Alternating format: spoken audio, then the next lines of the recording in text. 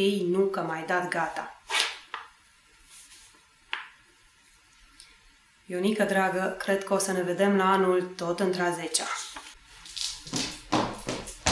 Carmen, dragă, lasă jurnalul deoparte și hai să mergem la Arad. Nu scriu jurnal, dragă, corectez niște lucrări de teză. Bine cum vrei tu, uite, reformulez. Lasă tezele deoparte și hai să mergem la Arad. Uite, în clubul Dum Dum este Retro Night. Ce zici? Ne tapăm părul, ne fardăm puțin, îmbrăcăm tricourile alea cu Justin Bieber ca să creadă cei de la club că avem 17 ani și mergem să dansăm. În primul rând, ce mai vrei să fardezi și să tapezi la tine?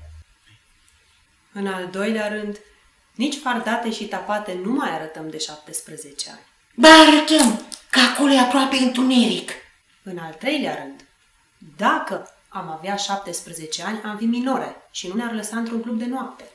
Ba o să ne lase, fiindcă cunosc eu unul dintre bodyguards și... Păi dacă cunoști pe unul din bodyguards, pe cine vrei să prostești că ai 17 ani? Carmen, de ce e musai să fii așa negativistă? Eu vreau să mergem la distracție și tu...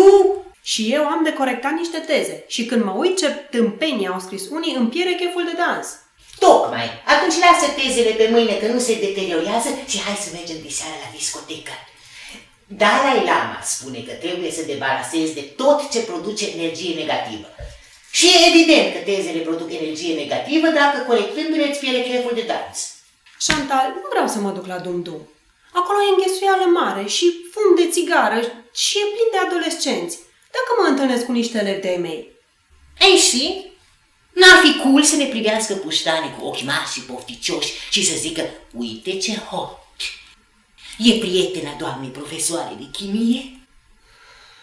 Hai că n-am mai ieșit de săptămâna trecută și în seara asta am nevoie de un ego push. Tu ai nevoie de un ego push în fiecare zi. Ce păcat că nu există un push-up și pentru ego, nu-i așa? Uite, dacă ești cu minte și mă las să corectez tezele, mergem la filmul ăla cu Magic Mike. Da, mai ai mult? Trei lucrări.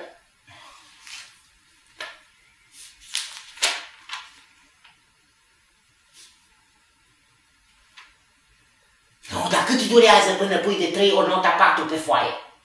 De unde știi că o să pun nota 4? Fiindcă predai chimia. Nimeni nu ia notă mare la chimie dacă nu dă ciubuc. Și cum tu ești revoltător de corectă, Mie îmi place să dorm liniștită noaptea. și mie. De aceea mi-am procurat pastilele alea homeopatice la care face reclamă la televizor. Știi tu, cursuleții adulți care hibernează până în luna iunie. Eu aș fi mulțumită dacă ai hiberna măcar 10 minute până termin de corectat lucrările astea. Bine, gata, nu mai spun nimic. E o promisiune sau o amenințare?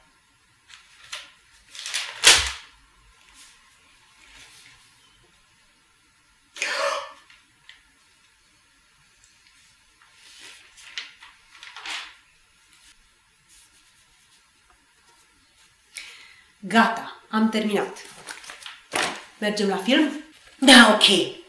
Da, dacă tot mergem la Arad să vedem filmul ăla, n-am putea trece pe urmă și pe la Dum Dum, măcar pentru vreo două ceasuri să facem și noi puțin Dum Dum?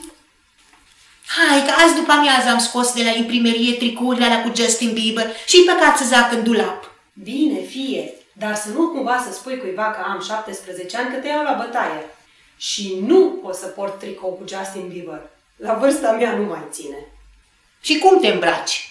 Am un top negru cu imprimeu mov. Arată super. Aha, înțeleg.